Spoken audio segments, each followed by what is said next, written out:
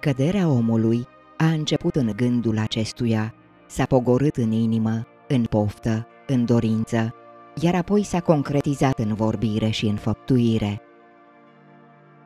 Un sfânt părinte spunea că la gândul rău să nu-i dai scaun să șadă în minte. Păzirea gândului, a cugetului, a ochiului lăuntric, creează premizele unei vieți curate, luminate. Spune Mântuitorul, te va fi ochiul tău curat, tot trupul tău va fi luminat, iar te va fi ochiul tău rău, tot chipul tău va fi întunecat.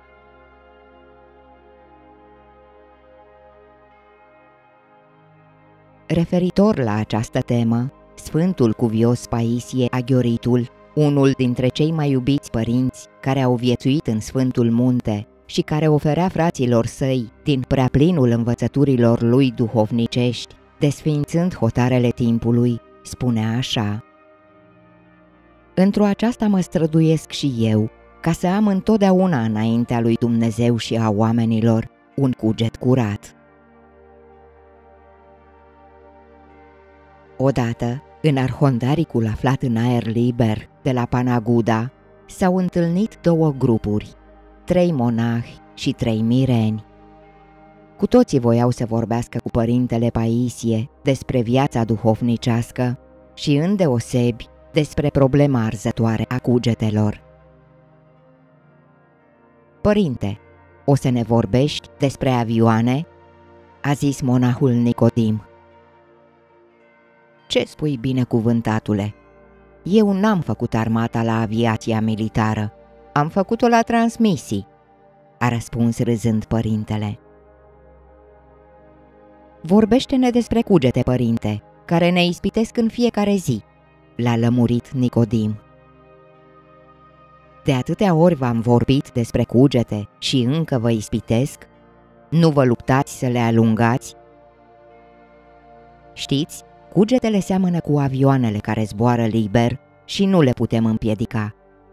Însă când acestea fac aeroport în sufletul nostru și încep să aterizeze, atunci nu ne mai găsim liniștea. Părinte, te referi la cugetele rele? Sigur că la cugetele rele. Pe cele bune le vrem pentru că ne îndeamnă la virtute. Oamenii se împart în două categorii. Una seamănă cu musca, iar cealaltă cu albina. Musca, după cum știm, dă mereu târcoale murtăriilor, chiar dacă ar exista lângă ea flori înmiresmate. Așa sunt oamenii care au cugete rele. Însă albina se așează doar pe flori și se ferește de mizeriile pe care le vede. Aceștia sunt oamenii care au mereu cugete bune.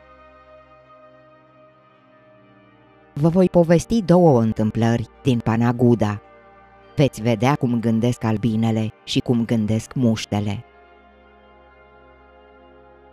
Odată, a venit aici un tânăr de 27 de ani și a sunat clopoțelul să-i deschid.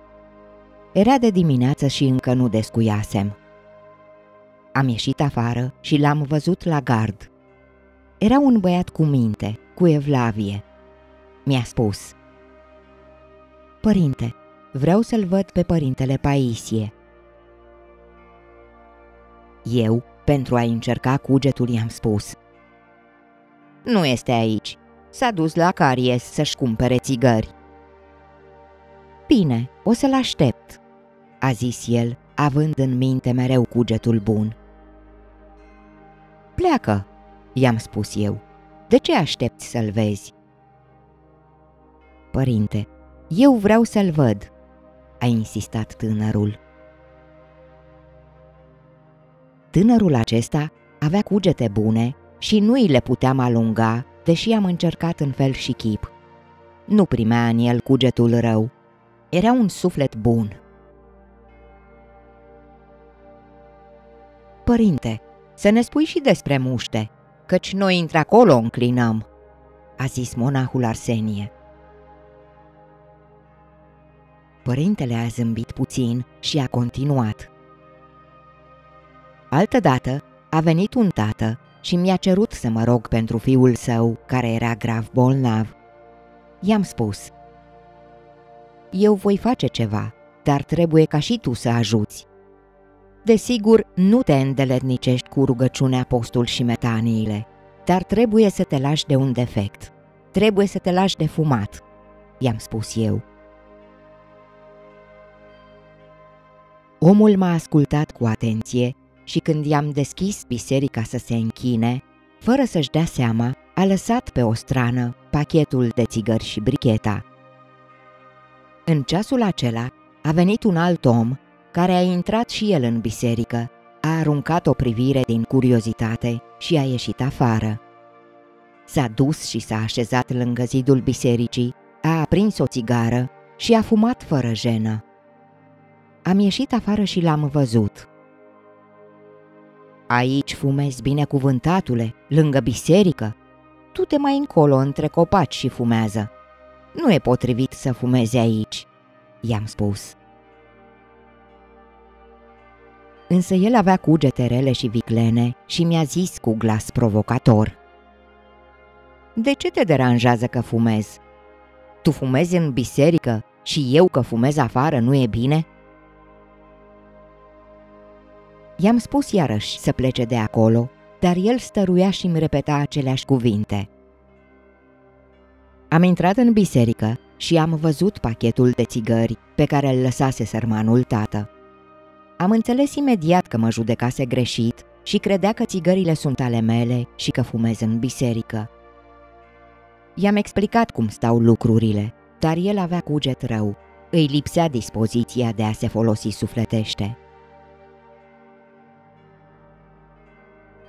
Altădată am avut probleme cu un tânăr care îmi cerea să-l primesc ca ucenic.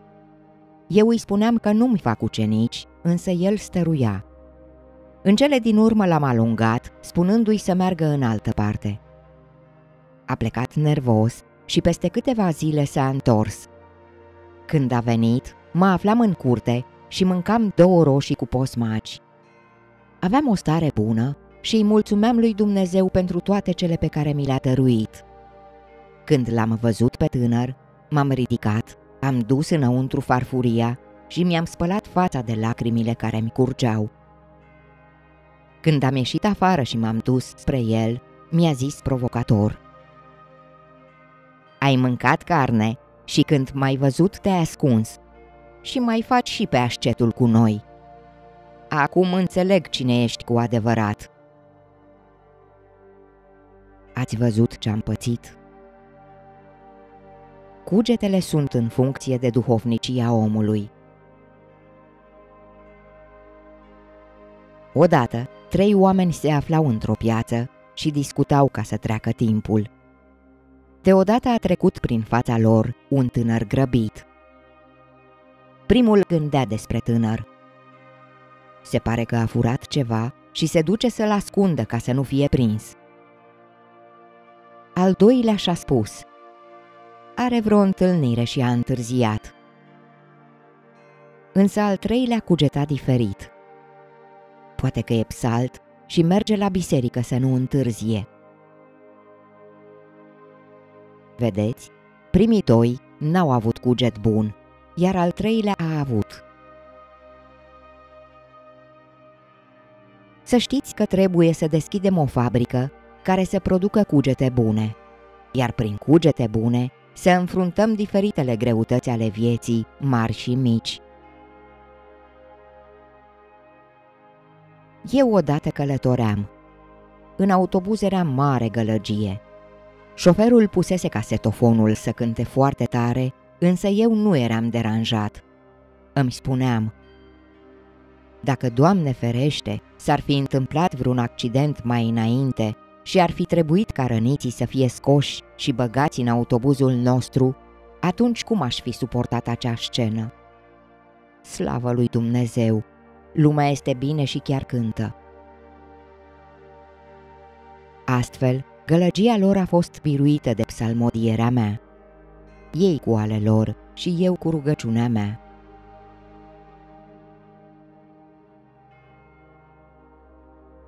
Părinte, E adevărat că noi monahii Ne necăjim repede atunci când ceva ne deranjează sau ne schimbă lucrurile, a zis părintele Nicodim. Ne necăjim fiindcă nu vrem să tăiem voia noastră. Nu înfruntăm greutățile prin cugete bune. Îmi amintesc că odată am mers la un schit pentru a vizita niște frați. Atunci s-a apropiat de mine un monah tânăr și mi s-a văitat că doi părinți mai în vârstă, care se nevoiau în chilia vecină, cumpăraseră un măgăruș care avea clopoțel și sunetul lui îl deranja. Acesta căutase prin canoane pentru a dovedi că era un lucru rău că părinții cumpăraseră măgarul. L-am ascultat cu atenție și apoi l-am dezamăgit. Dar, frate, pe ceilalți părinți nu-i deranjează, doar tu te vaiți. Nu-ți ajunge că cei doi părinți bătrâni au măgărușul și nu-ți cer ție să-i ajuți? Te-ai gândit că dacă măgărușul n-ar avea clopoțel, s-ar pierde și ar trebui ca un vecin bun ce ești să-l cauți? Am încercat să-l ajut. Nu știu ce s-a întâmplat pe urmă. Un cuget bun prețuiește cât o priveghere îndelungată. Are mare putere. De aceea trebuie să avem cugete bune. Cea mai lungă cale este cea care duce de la urechi la inimă. Când omul se ostenește să aibă inima smerită și cugetul pașnic, atunci toate uneltirile vrăjmașului rămân lucrătoare, pentru că acolo unde există pacea gândurilor, se odihnește însuși Dumnezeu.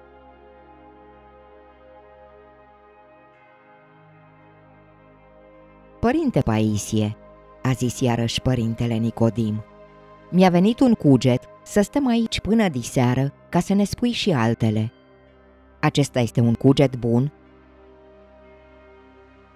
Este bun, fiule, dar trebuie să plecați, fiindcă așteaptă și alții dincolo de gard.